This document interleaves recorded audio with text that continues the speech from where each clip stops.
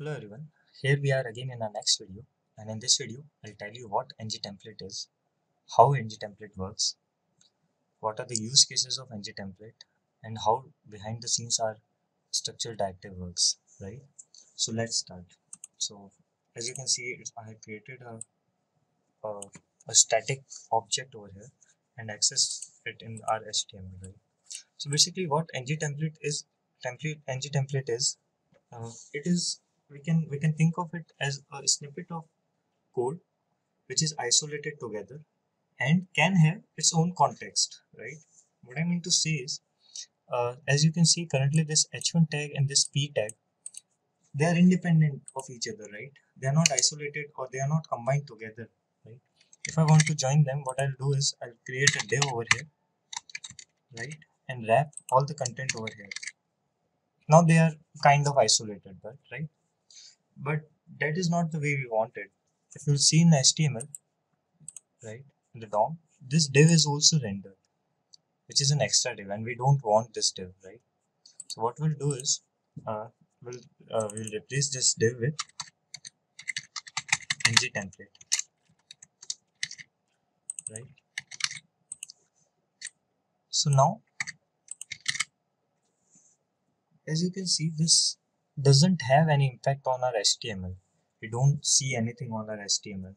That is because this ng template is being instantiated programmatically by the framework itself, right? And we can also instantiate it by the program. What I want to say is we cannot manually instantiate it, in HTML, right? Like other components. So one of the way to instantiate or to see the content of ng template is uh, ng template outlet directive, right? I'll show you how we can use it. Prior to that, let's give a reference to this template. Let's name it as data, right? So now we have a template with reference data in it, with reference of uh, let's say not let's not call it data, let's call it message or right message template. Correct. So now to instantiate this particular template, what we'll do is we'll use ng dash content or we can simply create a div over here. And in this div we can write a star ng template outlet. Right? Equal to. And then the name of the template which you want to render so currently this will be the name of the template. So yeah so as you can see now we have programmatically instantiated our template with the use of ng template outlet directive. Now if you see uh, go to inspect elements and as you can see we don't have any div or anything like that but this particular thing is isolated. In html they are independent but in code they are isolated to each other right? And uh, one more thing this ng template this ng template when uh, when when it is being rendered it is being converted into a, a, a, a this comment into a comment right? So this is ng template is not being rendered. It is being uh, converted into a comment and only the content is being rendered. So this is the use case of ng template. Okay. So let's take it uh, furthermore in deep right? So now as you can see in this ng template we are using this data.title and data.message correct?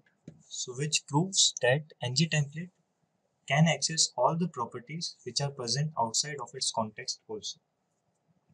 What i want to say is this data property is present in its parent context right? In the app component.html context.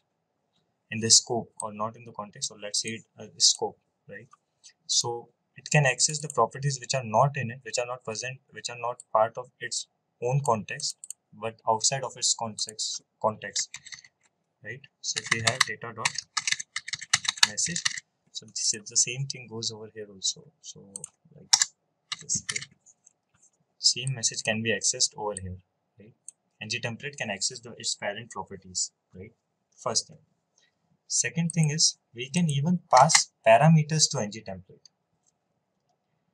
we can even pass parameters to ng template. Just like the our input directive or at the rate input and we used to pass properties of uh, uh, parameters to it right?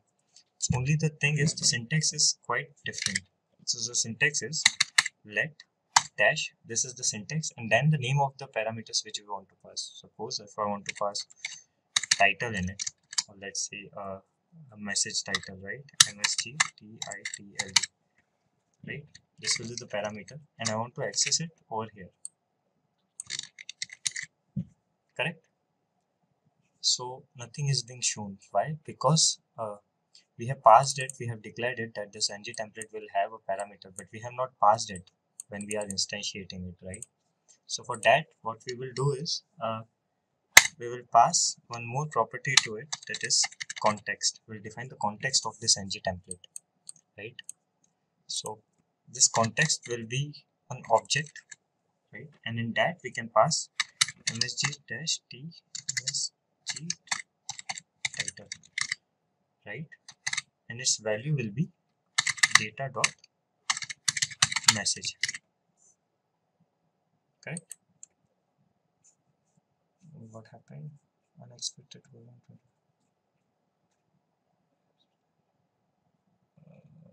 let's see why it is not being rendered I think it will be like this right? Okay. So now as you can see uh, we have successfully passed the MSG title but we are not using it. We have to tell it what will be the value from the context to it. So suppose let's say I will uh, say it the same name right?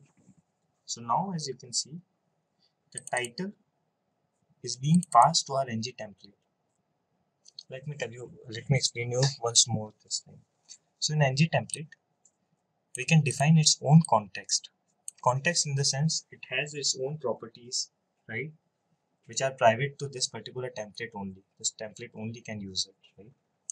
So for that thing we need to pass down to this template right? We, we need to pass uh, the things down to this template. And one of the ways context using the context. So we have to first define what parameters we want. So let's say let message or title is there. And uh, and if I want to add another parameter to it suppose if I want to put two different uh, parameters to it right? So this will be message right? Message right? So this is the MSG title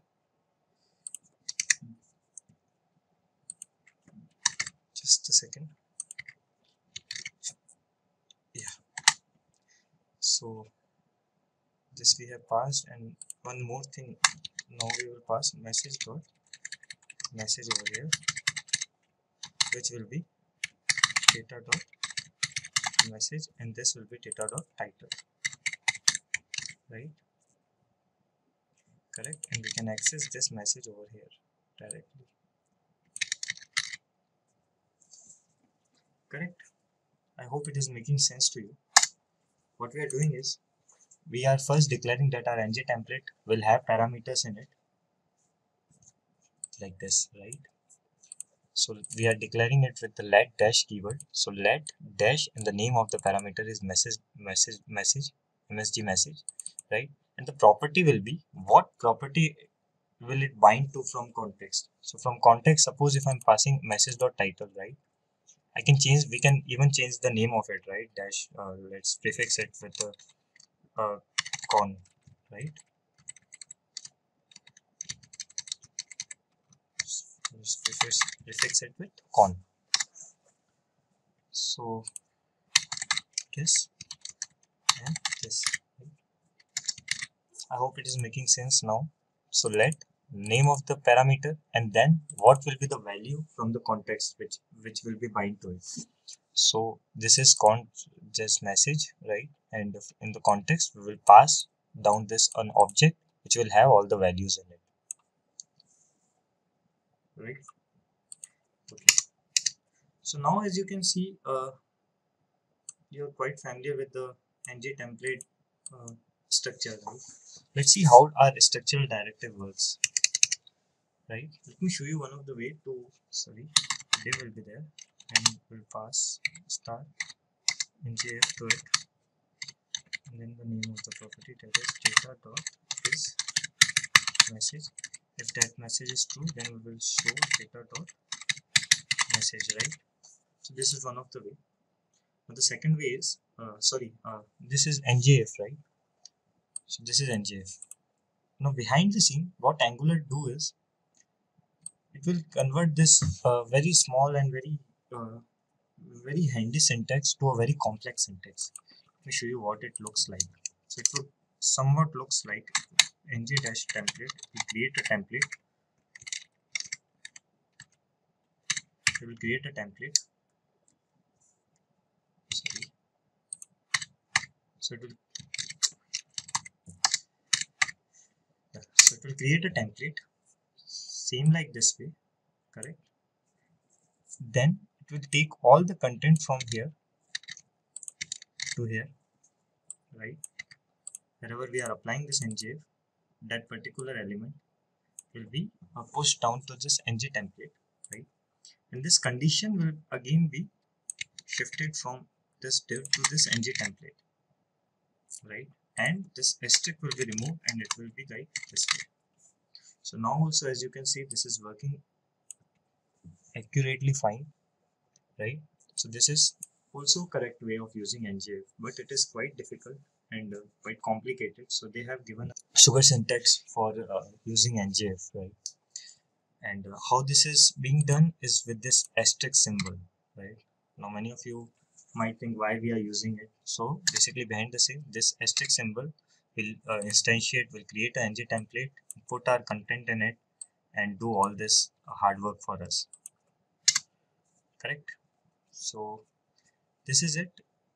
This is it for now. This is how our uh, structural directive works and this is how ng template works